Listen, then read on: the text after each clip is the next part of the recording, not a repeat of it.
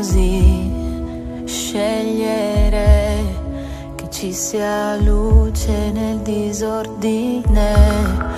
È un racconto oltre le pagine